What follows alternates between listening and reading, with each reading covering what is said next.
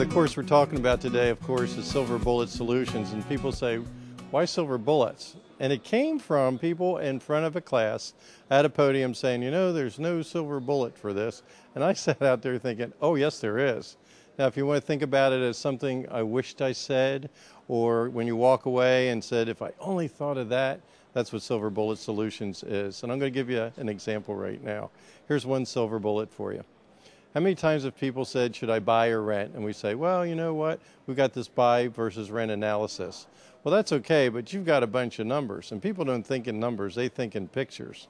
So try this silver bullet. And I got to give credit to the National Guard because when we did a seminar for them, the master sergeant said, why don't you put up a picture on the screen on one side of what will rent for 950 a month and on the other side what you can buy for 950 a month. I said, you know, I've never thought of doing it that way. We'll give it a try. Well, I will tell you, it is amazing.